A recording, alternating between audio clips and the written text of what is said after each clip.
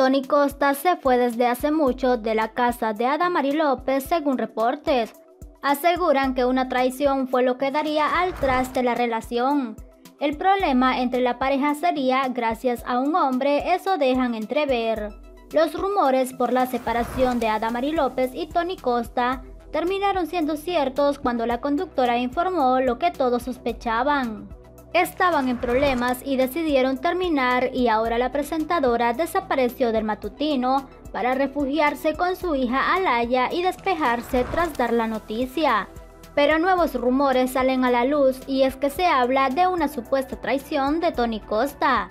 A través del programa de Chisme No Like, cuyos titulares son los periodistas Javier Seriani y Elisa Beristain se dio a conocer que supuestamente hubo muchos secretos detrás de la relación y que desde el mes de enero Tony Costa sacó las cosas de la casa de Adamari López y en ese entonces ya no estaban juntos.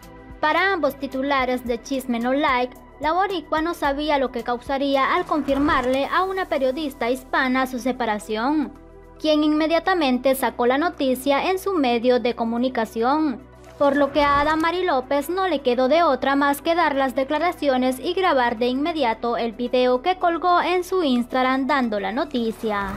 ¿Quién le quiso quitar el marido a Adamari López? ¿Una mujer o un hombre? Pregunto, pero el chico siempre tuvo fama. Se le buscó y nunca se le encontró nada, pero Zumbaba quien se metió en esta pareja porque sí, cuando una mujer se pone linda es porque le están por quitar la pareja, aseguró Seriani. Para mala fortuna de Tony Costa, los rumores sobre su ruptura con Adamari López van a continuar y comenzarán a salir muchos secretos o situaciones que vivió la pareja.